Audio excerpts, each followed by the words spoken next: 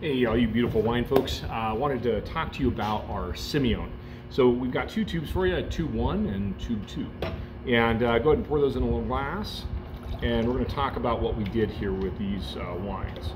So the challenge we had with our Semillon uh, is we did many of the wines in the 2020 vintages. We had quite a bit of reduction that we fought for one reason or another. So if you wanna give these a smell, you'll notice the, the wine itself, tube one, has a bit of a uh, what I would call vegetal aroma, something like canned corn, canned asparagus, uh, definitely something on the sulfide end.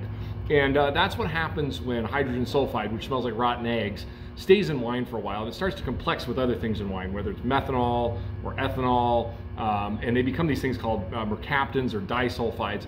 And they, they smell like, you know, things that come from things you're used to, like, you know, Brussels sprouts, cabbage, uh, asparagus, all those things kind of have some of those sulfur compounds in them naturally, which is great if you like those things, but probably not so great for your Semillon.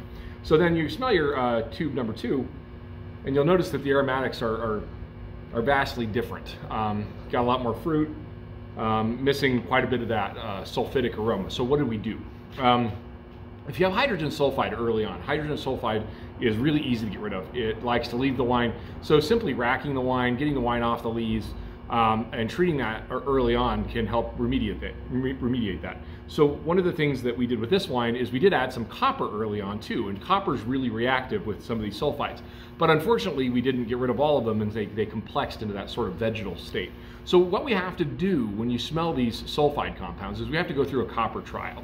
So the first thing that we do is we want to take some wine and hit it with some copper right off the bat. And if the copper gets rid of that sort of vegetally aroma, that means that these are simple sulfides that react with copper.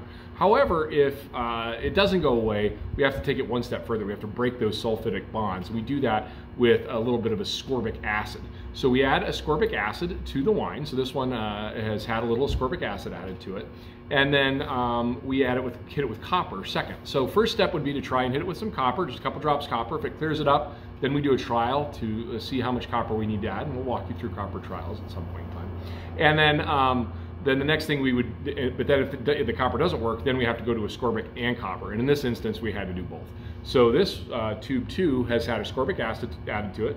It's then uh, been coppered. So we've added uh, about uh, 0.25 um, grams per liter of ascorbic acid and then 0.5 milligrams per liter, so only 0.5 or half a part per million of copper to the wine to uh, then uh, take those uh, sulfidic compounds that have been broken by the ascorbic out of the wine. So uh, that's uh, kind of how we approach this. And I think you can see how quickly and radically you can change a wine in pretty short order. Um, there's some other things we're going to need to do to this wine still because I think the mouth feels a little lacking. Uh, we're going to probably add some enzymatically activated yeast lees to it, maybe blend a little bit of Sauvignon Blanc in it, pop the aromas.